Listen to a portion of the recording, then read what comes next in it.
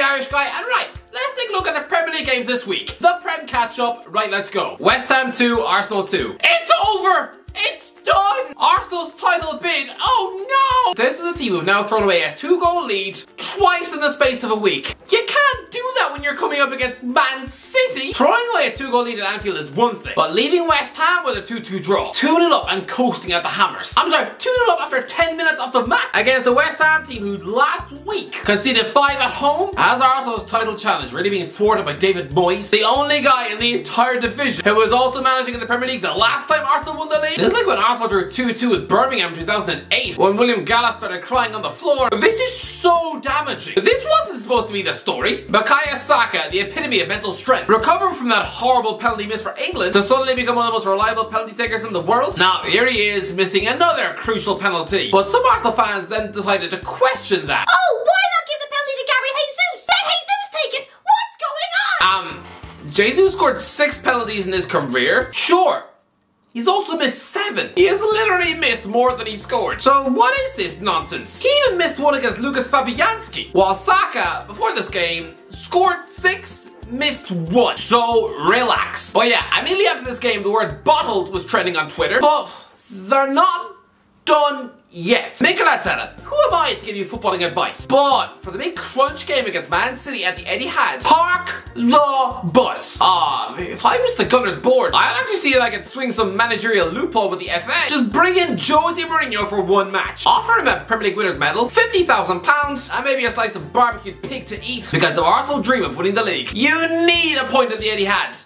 Otherwise, you're done. This is exactly like when Liverpool played Chelsea in April 2014, and Brendan Rodgers set up his team to win, when a nil-nil would have done. Then Stevie G fell over, you lost the match, and everybody's head exploded. What Rodgers needed to do was just put 10 men behind the ball and just play for the nil-nil. Although, really, looking at the lineup at BBC, I mean, was the journalist drunk? Because they seem to think Mamadou Sakho played in midfield, that Martin Skrtel was a left back, with a centre back pairing of John Flanagan and Stevie G. What?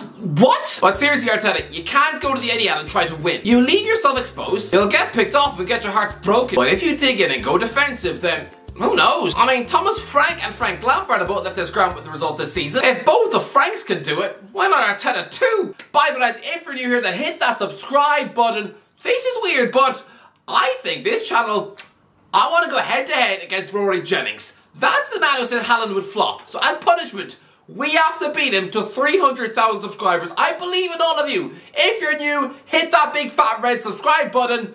And we, as a community, me and you, if we do topple Rory Jennings, then trust me, we're gonna have a 24 hour live stream where you can ask me anything. And I do mean anything. But we have to beat Rory first. Hit that subscribe button, you legend. Nottingham Forest nil, Man United 2. Oh, Nottingham Forest are so unbelievably toothless. 24 goals in 31 games of football is pretty spineless. I mean, five forwards were signed this season five. But here, Man United got the job done with ease. Antony chips in with another goal. They controlled the game. Diogo Dalot scored another goal. Keylor Navas once again showed the reflexes of a cat. Honestly, at the start of the season, this match was pinpointed in the Forest calendar as the one where Dean Henderson and J Lingz would prove Man United wrong that they let them go. Uh, it was going to be a 1-0 Forest win, right? A Hendo penalty save and a Lingard wonder goal, right? Yeah, the reality is that neither man played and this big Django-esque revenge mission was really really just a boring, damp Sunday afternoon squib. But lads, that is zero wins in 10 games for Forest. Not only that, but they've only scored 7 goals in those 10 matches. I like Steve Cooper, I really do. But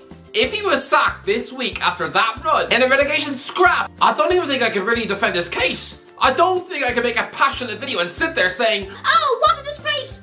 Not even if they brought Patrick Vieira through the door, because that run that's really not good enough. Aston Villa 3, Newcastle nil. Aston Villa are unbelievable. I'm sorry, but when did this happen? I'm genuinely at a loss. I am almost speechless. When Unai Emery took the Villa job, to me, it's been like casting the bloke who plays Yoda of Star Wars as the next James Bond. To me, this is a serial winner manager at a club allergic to success. To me, this just did not fit. I mean, Emery's first game as Villa boss was travelling to St James's Park watch his team concede four, he was sitting in the crowd that day, watching his new club versus the one who he turned down the previous year, and honestly, I wouldn't be surprised if he started immediately crying on the phone to his wife. I mean, leaving Spain for Birmingham, a town where most people look like zombies with the flu, it almost looked like a horrible decision for the man, and especially returning to a league where he'd already failed. But this, this run of form since February 25th, is flawless. That is now seven wins in eight. I mean, they've only conceded twice during that run. I'm sorry, what? Tyrone Mings began the season with a former Rangers manager publicly calling him out, almost questioning whether he had the backbone of a burnt pancake. But I mean, look at him now. Aston Villa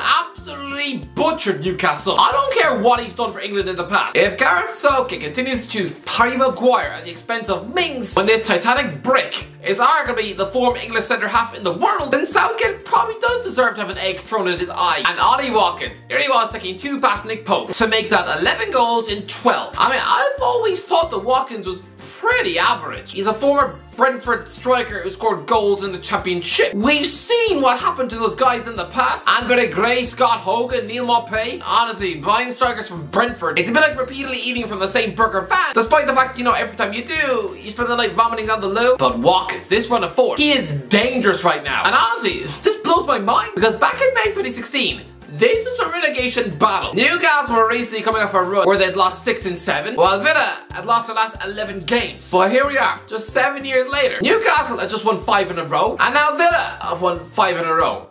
I'm scared. I'm honestly scared because Villa, this is Man City levels of winning. I mean, if they keep on beating teams, if they beat Brentford, Fulham, Man United, Wolves, Tottenham, Liverpool and Brighton, which is very possible based on form, then they will wind up on 71 points, which will qualify them for the Champions League. Villa under Emery this is mental. Chelsea won Brighton 2. Lads, this week I'm gonna take a look at a video I did last summer where I predicted every new transfer who would flop for their clubs. Um, let's just have a little window into what I said about Brighton then, shall we? Brighton, Julio and Enciso. Pretty simple this. Brighton have paid 10 million pounds for Paraguayan wonderkid Julio Enciso who was born in 2004. I mean, he won't score a single goal all season. Next.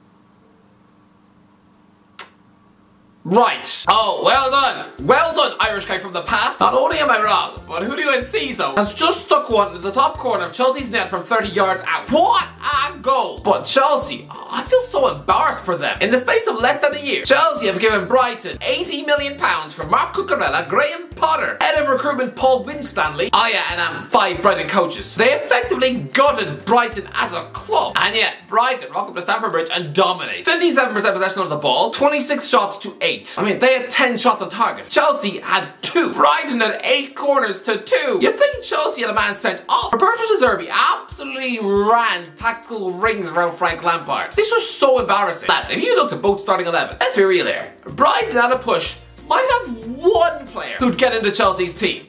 Alexis Mac Allister.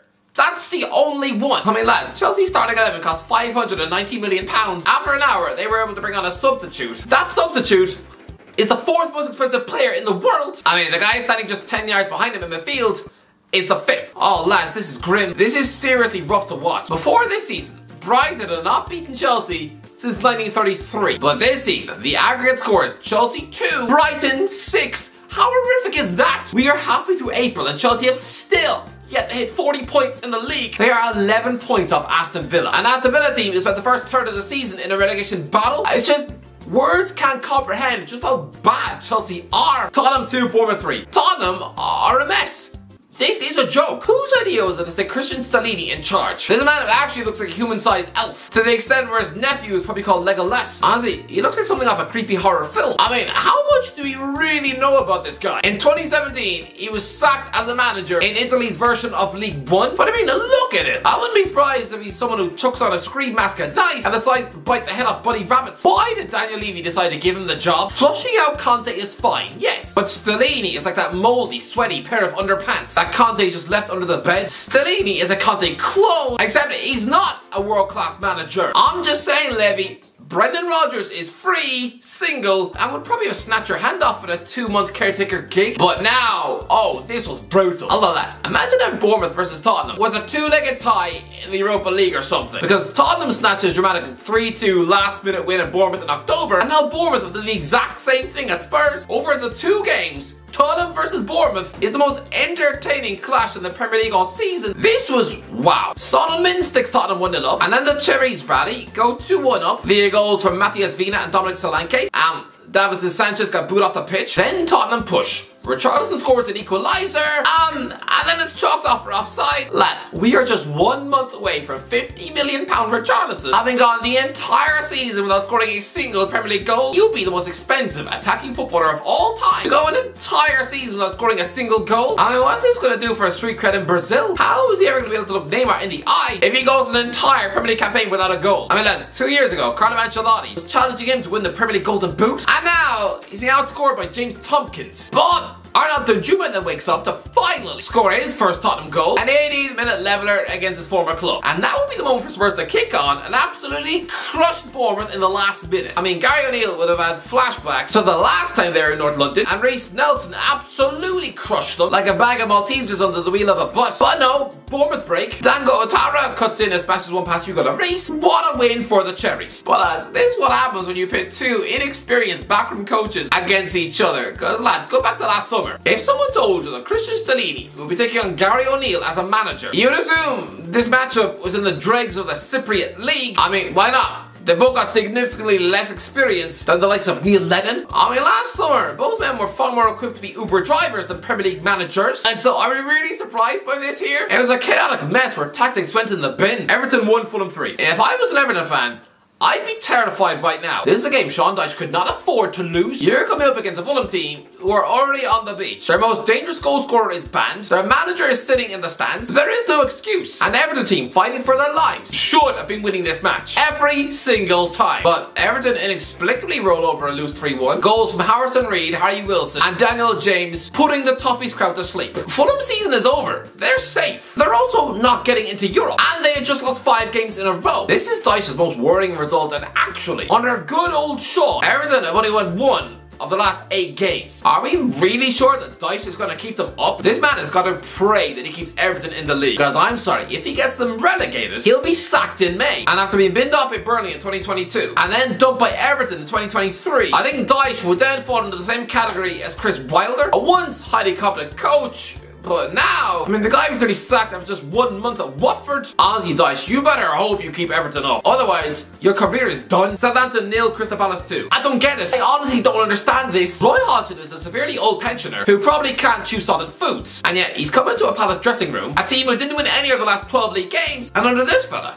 some of more wrinkles than an unironed shirt. He's won three on the bounce. Two classy goals with Enrique got the points. But Southampton, you only have yourselves to blame. Boardroom decisions have relegated your club. Sacking Ralph Hasenhüttl in October was a decent decision, yes. But you chose to appoint the Luton town manager, someone who had been binned off by Stoke in the championship. That was incompetent. As was then choosing to replace him with Ruben Selles. Look, club physio. By the way, he's only taken two points from the last available 18. I don't understand. Why did you not actually appoint a senior manager? I don't rate him, but even Dean Smith was available. Why didn't you give him the Southampton job instead of the bloke who used to manage the Valencia under 18s? Sorry, Southampton, but you relegated your club. Man City 3, Leicester 1. This was the most pointless and dead second half I have ever watched in my entire life. It really was just pointless. The match was over inside the first 10 minutes. John Stones volleys in a fifth minute goal. Erling Haaland scuffs in a penalty before adding another on 26 minutes. This game was so wrapped up Pep even took him off at half time. And yes, I suppose Leicester officially won the second half 1-0 when Kelechi Iheanacho tapped in, but sorry, Man City were pretty much asleep. I know this is ironic because I suggested that Southampton should have appointed Smith, but Leicester, surely you can do better than this moldy old man. This guy is a Norwich City flop, and he is half the coach Brendan Rodgers is. You decided to downgrade your manager while sitting second bottom of the league. That is risky,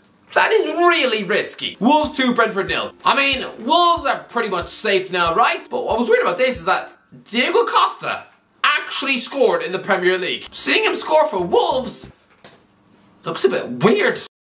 Anyway, that's what let me know what do you think. Let me know in the comments below what did you think of the Premier League game week. Let me know in the comments if you enjoyed the video. Don't forget to give a like, share, subscribe, and as always, I'll talk to you in a while.